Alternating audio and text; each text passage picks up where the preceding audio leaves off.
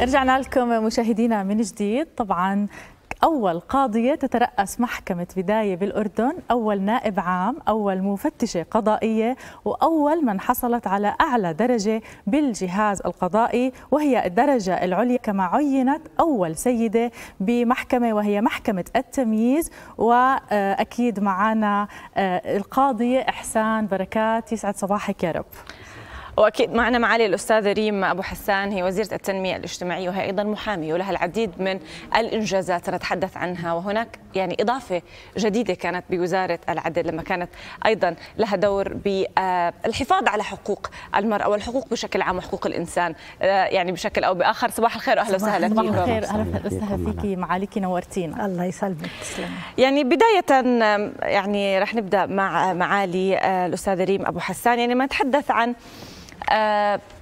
التنمية مبدئيا لما نتحدث عن المرأة لما نتحدث عن المرأة في السياسة في التعليم في الثقافة وين بتشوف المرأة الآن المرأة الأردنية تحديدا؟ آه المرأة يقال إنها نصف المجتمع لكنها في الواقع هي كل المجتمع نعم. لأنها هي الزوجة هي الأم هي الإبنة هي الأخت صحيح. هي العاملة هي المحامية فالمرأة موجودة في كل المجالات نعم. ودور المرأة لا يمكن أن نتغاضى عنه وإن صحيح. كان هناك حالات بنشوف فيها تتعرض المرأة للتمييز وإلى خلينا نقول عدم الإنصاف لكن المرأة بطبيعتها والمرأة الأردنية اللي هي النشمية الأردنية.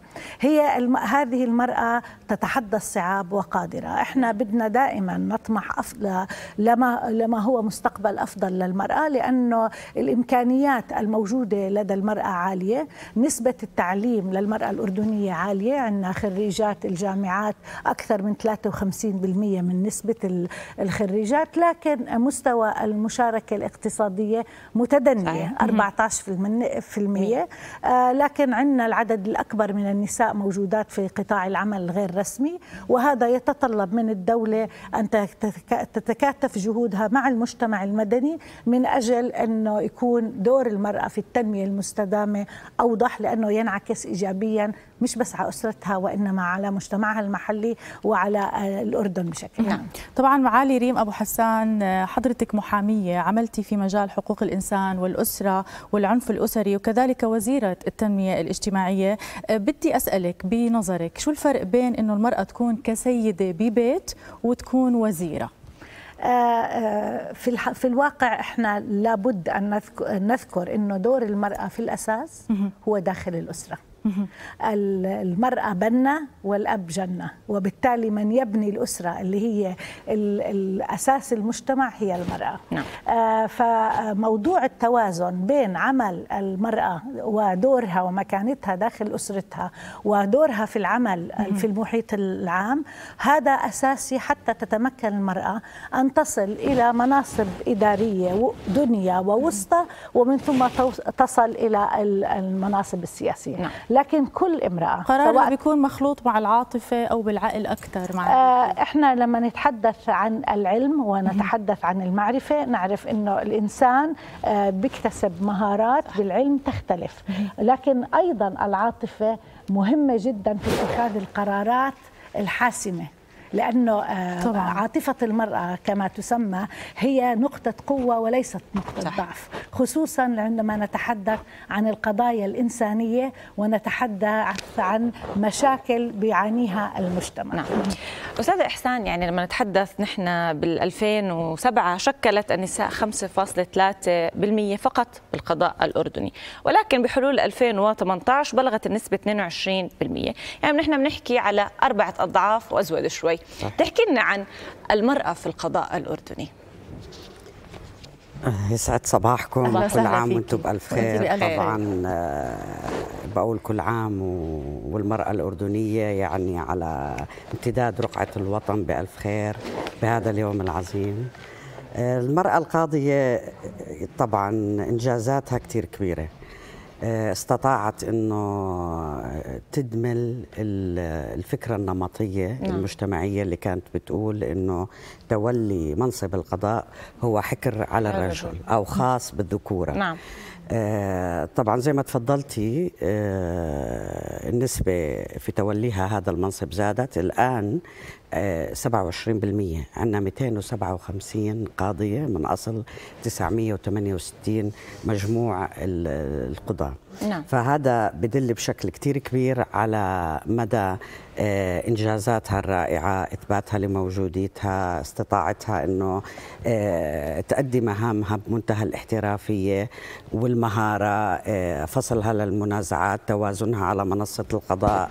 استطاعت إنها تبدع وبالتالي المجتمع أصبح نعم. داعم بشكل كتير كبير لتوليها هذا المنصب. طيب ست أحسان يعني زي ما عرفت عنك بالبداية أول قاضية أول نائب عام أول مفتشة قضائية قديش هالمراكز أعطتك تحدي وحافز لحتى تعطي أكثر وأكثر ولا لا العكس كنت خايفة ومترددة إنه تكوني كأول بكل هالمناصب؟ طبعا هو مش الخوف بمعنى الخوف هو تحمل المسؤوليات. يعني العمل القضائي بطبيعته هو عمل آه، شاق ومتعب وفيه يعني بلقي على القاضي حجم هائل من المسؤولية. إحنا بنعرف إنه مهنة القضاء آه، الوظيفة الأساسية لها المحافظة على أمن المجتمع واستقراره من خلال حماية الحقوق والحريات وتعزيز مبدأ سيادة القانون. وبالتالي فض المنازعات بين الناس ليس بالأمر الهين. طبعا. طبعا الرهبة من تولي هذا الموقع وليس الخوف بحكم المسؤوليات الجسام اللي اللي ملقاه. آه، بكل وقت كان يشرفني المجلس القضائي آه، بتوليتي أحد المناصب القيادية الهامة كنائب عام أو كنت بأمانة افتخر كأردنية بإعطائي هذا الموقع أو بتوليتي هذا المنصب بكل مهامه الكبيرة مع يعني باستمرار كل ما تعلى درجتي القضائية يعلى الهم والمسؤولية بشكل أكبر لأنه دائما إحنا بنعرف المواقع القيادية يعني المسؤولياتها بتكون كثير أعمق وأكبر على آه، نعم. صانع القرار أو على صاحب الموقع نعم. آه، معاليك آه، ب 2006 2008 انشاتي مديرية حقوق الإنسان وشؤون الأسرة في وزارة العدل. أهمية هذه المديرية شو كان رؤيتك؟ يعني دائما إحنا ما نحكي عن المراه بنحكي عن أسرة بنحكي عن عدل بنحكي عن محبة آه، بننشرها للمجتمع. في الواقع هذا كان توجه استراتيجي للدولة الأردنية نعم. وهو أنه قضايا أولا الأسرة لابد أن تكون على أعلى سلم أولويات نعم. سواء كانت السلطة التنفيذية ممثلة بوزارة العدل أو في المجال التشريعي أو آه، في القضائي فكان لابد أن يكون هناك وجود نواة في في وزارة العدل تتولى موضوع إدخال موضوع تمكين الأسرة وحماية حقوق أفرادها بالإضافة إلى حماية حقوق الإنسان بشكل عام لتكون جزء من التدريب الذي يتلقاه القضاة في المعهد القضائي نعم. وأيضا في من خلال الهيئات القضائية التي تحكم بالإضافة إلى تضمين هاي المفاهيم في القوانين نعم. إحنا في الأردن نفاخر بأننا أول دولة وضعت قانون للحماية من العنف الأسري وعندنا مش كان مشروع معتمد على نهج متعدد الاختصاصات بحيث أنه هناك دور للأمن العام دور لوزارة التنمية الاجتماعية لوزارة العدل لوزارة الأوقاف وزارة الصحة في التعامل مع قضايا العنف الأسري. وبعدين عدد كبير من الدول العربية آه، يعني آه، مشيت وراء الأردن في موضوع الحماية من العنف الأسري. فكان لهي هذه نواة حتى نضمن أنه السلطة القضائية والسلطة التنفيذية نعم. لها دور إيجابي آه، في موضوع حماية الأسرة. طيب معاليكي بتحسي أنه هالقوانين كافية لحماية المرأة من العنف؟ خاصة أنه عم بنشوف قديش الأعداد تزايدت مع فترة كورونا. العنف ضد المرأة كان جسدي لفظي آه، أو أخذ حقوقها بالقطاع العام أو الخاص. آه، بالتأكيد. يعني أنه دائما يتواكب وجود القانون مع وجود خدمات فاعلة وقادرة على أنه تطبق آه، مفاهيم القانون بشكل سليم. فبالتالي في دائما مراجعة مستمرة لموضوع الحماية. وإحنا بنعرف لما نتحدث عن حمايه الأسرة نحن بنتحدث حوالي 98 من ضحايا العنف الأسري هن نساء. صح. أكيد. أكثر من الرجال. وبالتالي هي المرأة هي ممكن تكون الضحية الأولى. فبالتالي القانون بحاجة دائما لتطوير. نعم. وزمن الكورونا لاحظنا إنه هناك طبعا ارتفاع في معدلات كل العنف. معدلات العنف.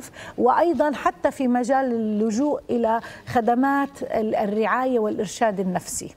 نعم. فنعم وهذا بتطلب منا إنه نقف كمجتمع مدني وكسلطة تنفيذية وسلطة تشريعية نراجع القوانين وحتى نضمن إنه في استجابة أكثر للإحتياجات حتى تكون منصفه أكثر للمرأة. نعم. طبعا أستاذ إحسان يعني قديش تولي المرأة بالقضاء الشرعي تحديدا بشكل اضافه في حل وإصلاح العلاقات الزوجية؟ لأنه المرأة بتقدر تفهم آه المرأة ممكن تعطي حلول ممكن بكلمة في بعض الأحيان آه تعطي حل لمشكلة زوجية آه سببتنا أو أخذتنا للمحاكم للطلاق.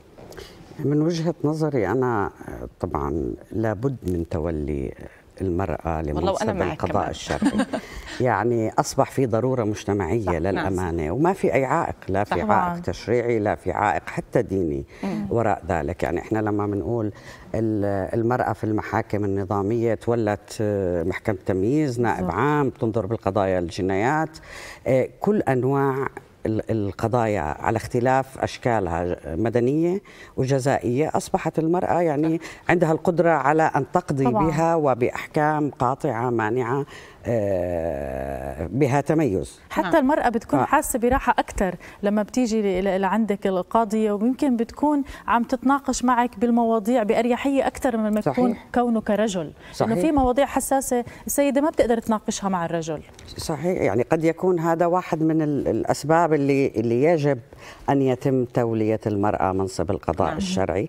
بتسهل حتى يعني آه، ولوج المرأة للعدالة بت بتسهل عملية التقاضي أمام المحاكم آه، الشرعية بت بتمنح المرأة ثقة أكبر بطرح قضاياها زي ما تفضلتي الحساسة يعني الخاصة بال أكيد. بالأسرة نعم. طبعا كلنا بنعرف هاي القضايا إلها خصوصية إلها طبعا. حساسية خاصة وما في ما يمنع يعني عندنا بالأردن ما في ما يمنع من تولية المرأة منصب القضاء الشرعي يعني إذا بتسمحوا لي. بدي أسجل آه، يعني تحية للكنيسة الروم الأرثوذكس نعم. التي قامت بتعيين امرأة قاضية في الاست... في في مرحلة الاستئناف آه، في محكمة الروم الأرثوذكس نعم. وهي خطوة جدا إيجابية بالإضافة إلى أنه المحاكم الشرعية وإن كان فيها في البداية مرحلة الإرشاد وال الإصلاح قبل ما تنتقل القضية للقضاء الشرعي إلا أنه أيضا بضم صوتي لصوت زميلتي الأستاذة إحسان إنه أهمية وجود مرأة في القضاء الشرعي. أكيد نعم. أكيد. يعني الأوقات الحلوة بسرعة بتمر وصراحة يعني إحنا حابين نقعد معكم أكثر ونستفيد منكم أكثر وفخورين عن جد بإنجازاتكم. يعني معالي كريم أبو حسان والقاضيه إحسان بركات بنتمنى لكم يا رب هيك يوم سعيد و يعني شكرا إنه إجيتوا لعنا ونورتونا باستديوهات يوم جديد. شكرا. كان لنا الشرف في محاورتكم. شكرا جزيلا. شكرا. يعني